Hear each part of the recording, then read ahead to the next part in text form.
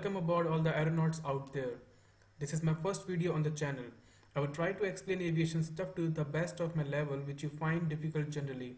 Many of my friends and colleagues suggested me to create videos of the stuffs I teach them and share those in order to share the knowledge and information to the aviation community. I would try to buy some time from my schedule to make informative videos and would try to be very active on the channel to keep on sharing knowledge. Any suggestions, corrections or queries would be welcomed and please feel free to comment down below to ask any question or doubt which is bothering you. Or if you like this video and if you want me to make some more videos on the subject and topics of your choice, then also your suggestions would be welcomed. So stay connected and subscribe to my channel for future videos. In today's video, I'm going to introduce manuals of Boeing 737NG and explain about it. So let's start. The primary manuals of Boeing 737 are provided as FCOM, which is Flight Crew Operations Manual, FCTM, which is Flight Crew Training Manual, and QRH, which stands for Quick Reference Handbook. So first we are going to talk about FCOM. As we learned earlier, FCOM stands for Flight Crew Operations Manual. Purpose of this manual is to provide the necessary operating limitations, procedures, performance, and system information the flight crew needs to safely and efficiently operate the 737 airplane during all anticipated airline operations.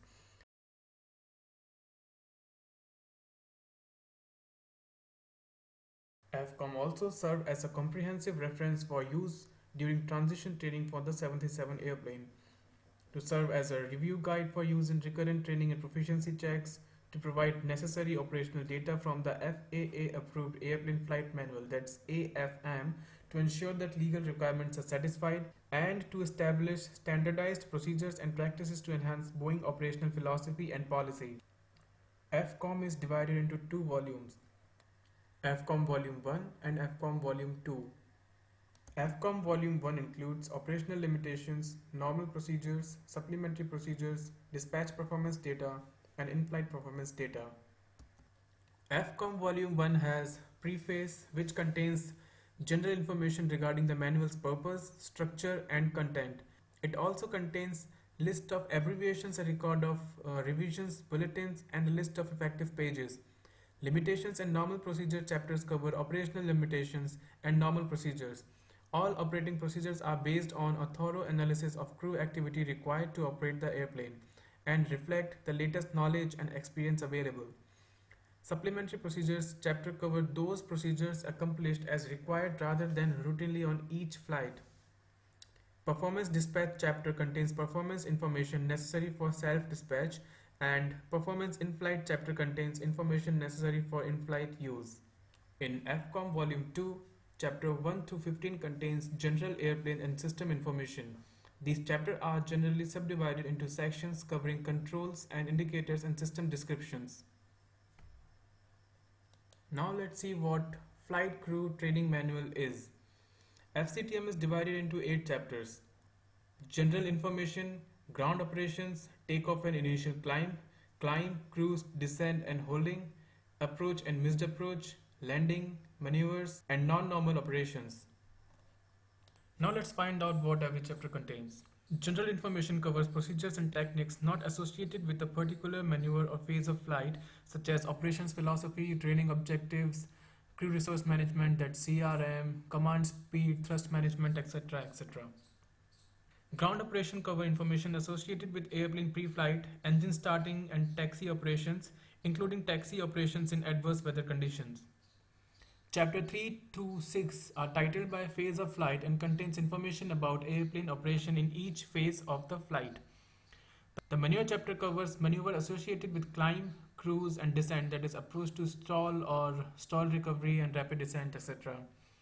The non-normal operations chapter covers non-normal situation that may occur during any phase of flight. Each of the chapter has a preface which describes the chapter in more detail. FCTM also contains two appendices. In Appendix A, Section 1, operational information is available for the operator to use as desired. It provides a convenient location to supplement the FCTM with operator-specific information. Whereas Appendix A, Section 2, which contains supplemental information for the operation staff of the organization rather than individual pilots. These are considerations for each operation to evaluate and use as they see fit for their operations. The operator may wish to remove this appendix before distributing the manual to their pilots. Apart from this, we must also keep this in mind that the FCTM is intended to provide information in support of procedures listed in the Flight Crew Operations Manual that is FCOM and techniques to help the pilot accomplish these procedures safely and efficiently. The FCTM is written in a format that is more general than FCOM. It does not account for airplane configuration differences unless these differences have an impact on the procedure or technique being discussed. For example, the FCTM states when the flaps are retracted to the desired position and the airspeed is at or above the flap maneuvering speed, ensure climb thrust is set. The statement is not intended to tell the crew how to set climb thrust, it only to emphasize that flight crew must ensure their climb thrust is set. It is recognized that crew actions required to set climb thrust are different in different models. Reference to the applicable FCOM is required in information on how to set climb thrust. It must be noted that in the event of conflict, the procedures and restrictions published in the FCOM, QRH, MMEL and MEL, that is Minimum Equipment List or DDG, take precedence over the information techniques and recommendations in the FCTM. Now let's talk about QRH which stands for Quick Reference Handbook. The QRH contains all checklists necessary for normal and non-normal procedures as well as in-flight performance data. On the front page, we have something named QAI or Quick Action Index, which covers all the very serious situations and checklist. These are also memory items.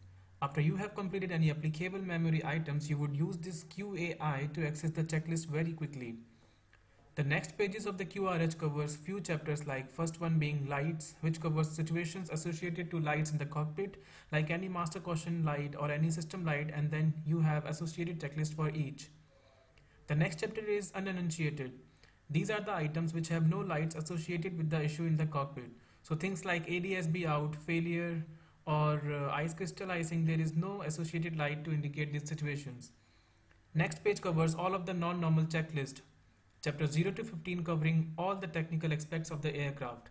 After that we have performance in flight data which covers all the tables and charts associated with the performance of the aircraft.